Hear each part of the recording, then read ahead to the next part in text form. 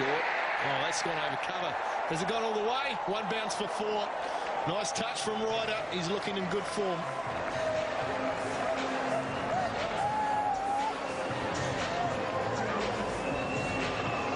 Yeah, one bounce.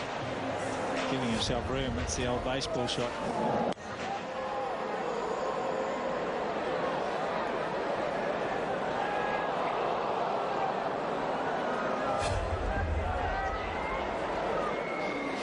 Boundary.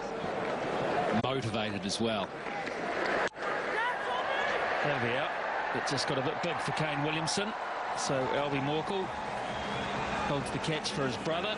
And for once, Williamson not in control of that delivery at all. Climbed and it was bit close to the body.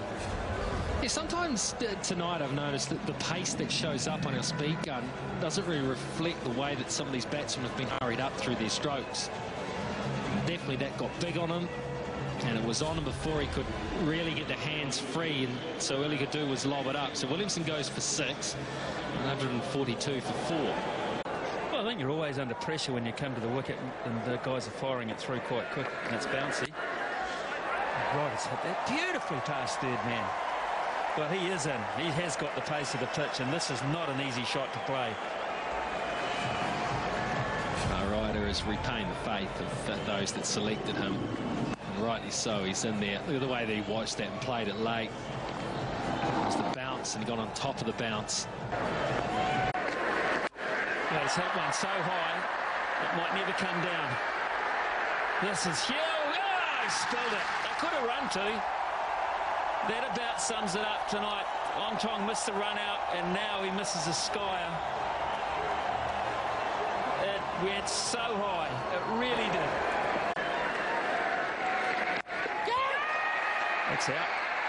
Jesse goes.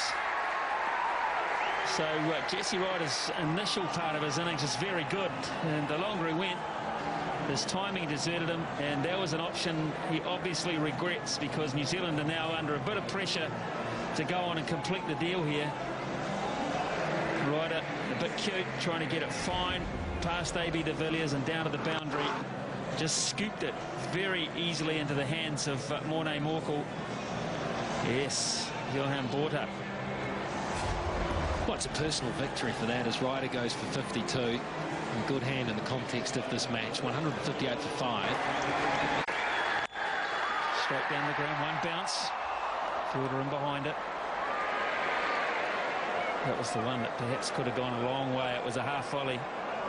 And he hit this very well. That's good. Very good indeed. Good pace, good width. Yeah, this is risk and reward this from the fast bowler. Bang it in. Got to make contact here. That's out. That is out. So McCullum trying to work it down fine. Just lobs it straight to AB de Villiers. And there's a horrible gurgling sound in the New Zealand camp. Well, well, well. Well, everything the black cap batsmen try now does not work for them. Got him in the gloves, lobbed up in the air. Look at that from the captain. Can he pull this one off? It'll be one of the biggest chokes you'll ever see in a game of cricket if he does. McCullum, he can't make a difference. He's out for naught, 160 for six. Six from three now. Oh, Doug, it's gone straight up. He's going to be out too. Hashim Amla's underneath it. He won't drop it. He will not drop it. In the end, it threatened to get away, but he held on to it, and now South Africa are odds on to win. How the heck has this happened? The nerves, after what happened a few overs before, the nerves all around the ground there, all around the ground in the field. Oh, the hearts would have been in hands. The hearts would have been sitting up there in the throats as this one went up. It was another sky, but Amla, the experience, the class he has, just holds on to it. Oh, he just held on to it. Now they're checking the front foot, no ball. Not a problem there. Not a problem at all. That is certainly spot on there. And yes, look how far he had to stretch the arms out as the ball threatened to get away from him. But they have done enough, it seems. James Franklin, the only good news is that James Franklin will be on strike to try and win the game. something lucky. Here we go. Last ball. Beautifully bowled. It's a no ball. It's been called a no ball. South Africa think they've won. They have not. Go back, boys. Go back. Front foot no ball. Unbelievable. Let's have a look. He's over. He's got to have something behind that line.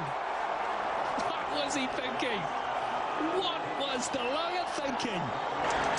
Southee misses. And South Africa have stolen it. They have stolen this game from nowhere. And New Zealand are rocked back. And what will this do for their confidence? A rare opportunity to beat the Proteas has gone begging. And uh, McCullum was taken as well with uh, audacious shots, tough options. New Zealand were left in all sorts of uh, bother, really. And Amla, you should uh, make mention of the very, very good catch off a steepler from Doug Bracewell. Peterson one for 34. De Lange ends up being the hero. He had three overs, none for 33, four overs, two for 36. He got two for three in that last most important over. Albie Morkel, none for 13. Morne Morkel, two for 31. Botha, a heady last over from him. And he went for just five runs per over on a small ground with, you know, dimensions that you can pick off a spinner. Two for 20 for him. Parnell, none for 14. And Duminy, none for nine from his two overs. So the summary, South Africa 165 to 7. We thought they were around 20 runs short in the end. They had three runs too many, but that's because New Zealand seriously let this one go. South Africa, they tried to give it away at times, but they won by three runs, and they won the series 2 to 1.